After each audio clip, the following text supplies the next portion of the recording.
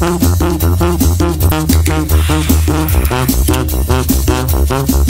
gitu, aku tuh banget kemudian. Tuh sakit